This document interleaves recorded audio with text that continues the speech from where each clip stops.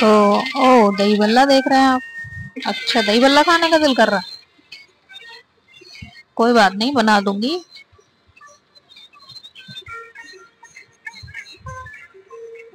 जी जी, बना रही हो, बना रही हो। डोंट वरी चलिए जी तो बनाते हैं। दही भल्ला तो यहाँ पर मैंने जो है वो डेढ़ सौ ग्राम मूंग की धुली दाल ले ली है डेढ़ सौ ग्राम उड़द की धुली दाल ले ली है। आज मैं आपको बनाना सिखाऊँगी बहुत टेस्टी और हेल्दी वाले दही भल्ला ये टू टाइप्स में आपको बनाना सिखाऊँगी। एक तो फ्राई करके सिखाऊँगी और दूसरा मैं लेस ऑयल में फ्राई करके सिखाऊँगी। ठीक है ना? तो इसके लिए मैंने जो है दाल को ग्राइंडर में डाल लिया है और स्लाइटली कोर्स रखना है इसको। मतलब थोड़ा खुरदुरा रखना है। ज़्यादा हमने इसको फाइन पेस्ट नहीं बनाना है। उससे जो है भल्लों में बहुत ही टेस्ट आ जाता है। ठीक है, अब आप देखिए, मैं इसको बीट करते रहूँगी करते रहूँगी, जब तक कि दाल का जो जो साइज़ है, वो डबल नहीं हो जाए। और थोड़ा आप देखेंगे कि ये कलर भी चेंज करेगी। सबसे मेन पार्ट इसका यही है कि हमने इसको बीट बहुत अच्छे से करना है। ठीक है, आप देख सकते हैं कि दाल का जो कलर है वो काफ़ी चेंज होने लग गया है और इसमें बबल भी बनने लग गया है। बीट करते रहेंगे इसको।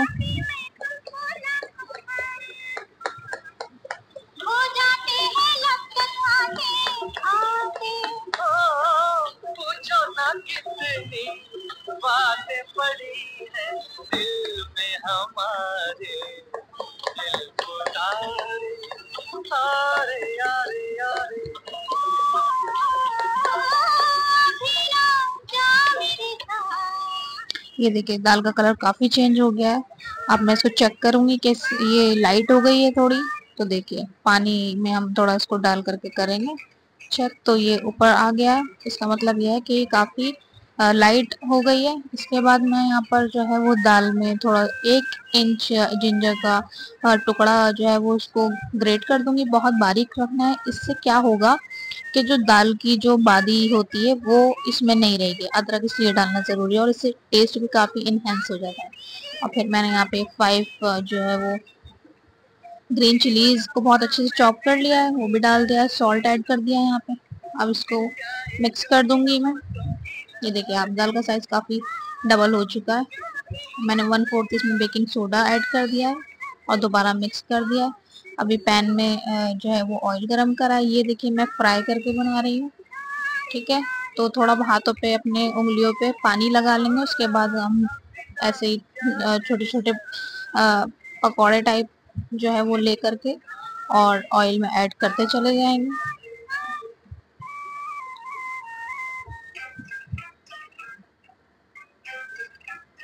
ये देखिए फ्राई हो रहा है। लगता है मेरे माइक को भी फ्राई होना। होने का दिल कर रहा है। यहाँ मैंने इसको फ्लिप कर दिया है। मैंने मस्टर्ड ऑयल यूज़ किया है। आप चाहें तो कोई भी वेजिटेबल ऑयल यूज़ कर सकते हैं। कलर इसीलिए इसका येलो येलो सा दिख रहा है क्योंकि मैंने मस्टर्ड ऑयल यहाँ पे यूज़ किया है। अब पानी जो मैं, भल्लो का पानी है, उसमें मैं सॉल्ट ऐड करूँगी। और हिंग ऐड करूँगी। इससे क्या होगा कि जो भल्लों में और टेस्ट ज़्यादा आ जाए, मैं वन बाय वन निकाल करके पानी में ट्रांसफ़र करती रहूँगी। बहुत केयरफुली आपको ये प्रोसेस करना है। कभी कभी ऐसा होता है कि भल्ले जो होते हैं, वो ब्लास्ट कर जाते हैं तो इसलिए अपने फेस का काफ़ी ख्याल रखिएगा। अब देखिए, मैं यहाँ पे जो है, ये अपे मेकर ले लिया है मैंने। मैं इसमें बहुत कम ऑयल के साथ बनाऊँगी। मैंने ऑयल ऐड कर दिया है इसमें थोड़ा थोड़ा मैं स्पून की हेल्प से इसमें भल्लों का बैटर ऐड करूँगी। इतना ही डालना है कि शेप में एडजस्ट हो जाए।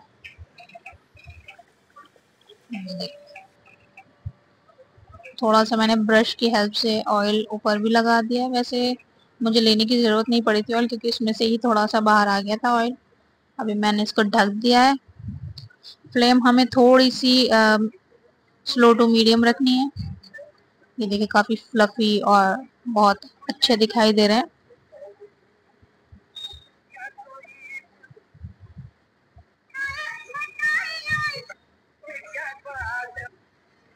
मैं इसको फ्लिप करते चली जाऊँगी वन बाय वन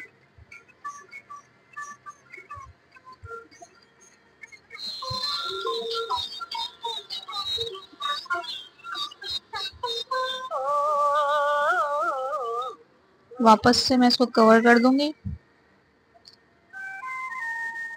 अब मैं पाँच मिनट बाद मैंने इसको देखा है।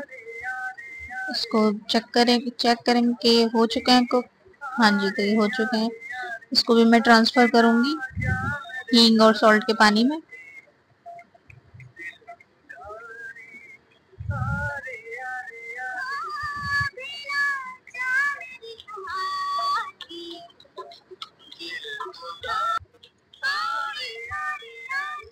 वन बाय वन करके मैंने सारे ट्रांसफ़र कर दिए अभी वापस से यही प्रोसेस करेंगे। ऑयल मुझे डालने की ज़रूरत नहीं पड़ी थी क्योंकि इसमें ऑलरेडी था।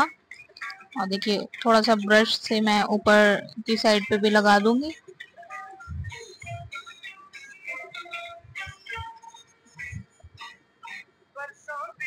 वापस से मैंने इसको लिट कवर कर दिए। ये देखिए, काफ़ी स्पंजी और बहुत मतलब लाइट वेट लग रहा है, ये देखिए आप।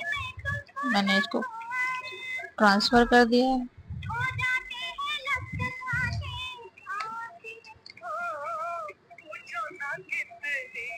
वैसे मुझे अपे मेकर वाले जो भल्लाज हैं, वो ज़्यादा अच्छे लगे हैं रादर दैन फ्राइड तो आप भी बताइएगा कि आपको कौन सा समझ आ रहा है। वैसे टेस्ट दोनों का सेम था। मैंने यहाँ पे कुछ ड्राइड स्पाइसेस ले लिए हैं, जो मुझे भल्लों के ऊपर से स्प्रिंकल करना होगा।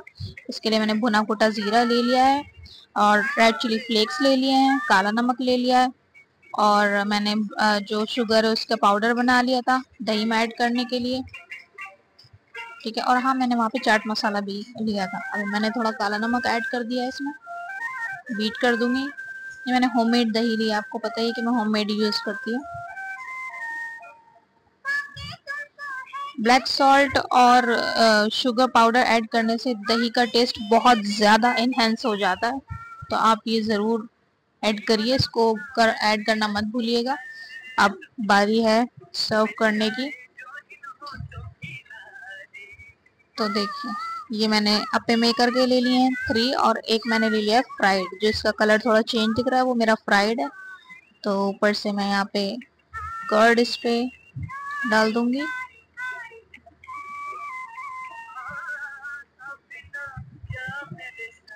ये दही बल्ला बहुत बहुत ज़्यादा यमी और डिलीशियस बने थे।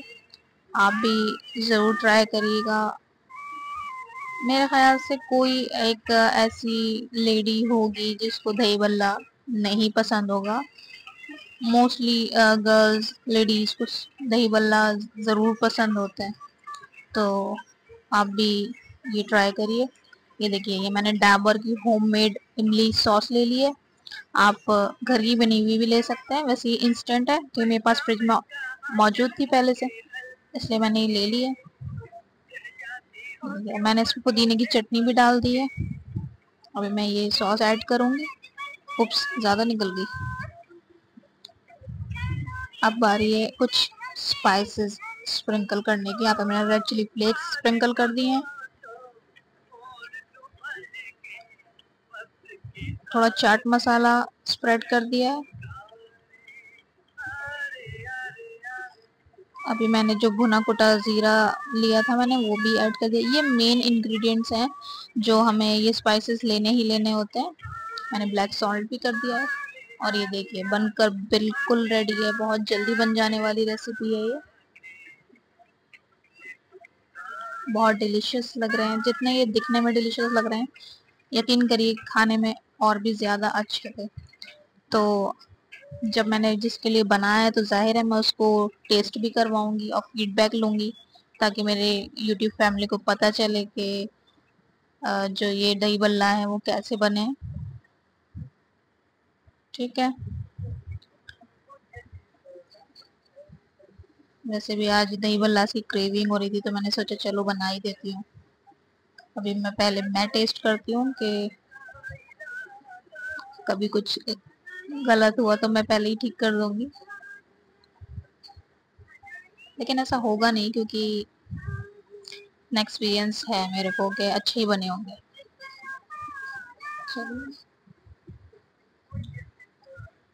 हम्म लजीज, बहुत ज़बरदस्त बने। ईद स्पेशल पे आप बना सकते हैं इस रेसिपी को। चलो। तो ट्राई करवाते हैं।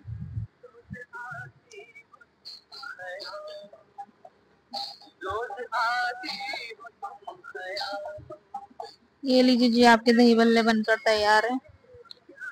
चेक करके तो बताइए कैसे बने हैं।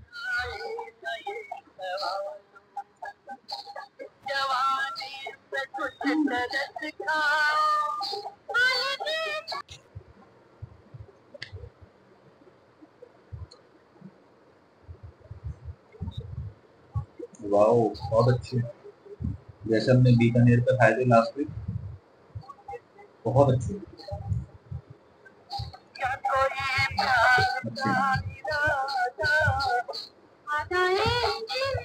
वैसे तो मेरे को पसंद नहीं है, लेकिन ये अब मैंने खाए तुम्हारे बनाए हुए हाथ में, बहुत अच्छे लगे।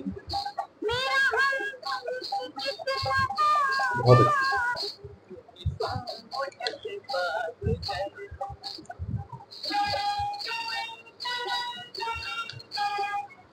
He is enjoying.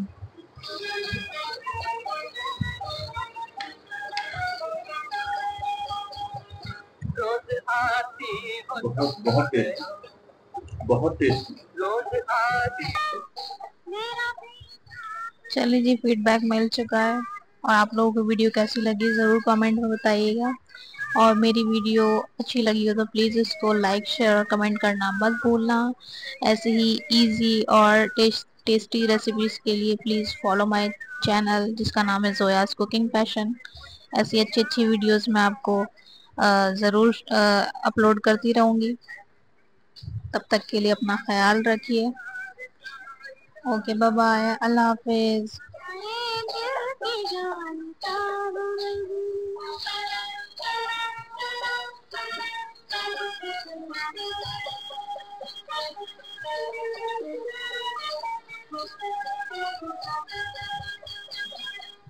गई हो मेरी बन गई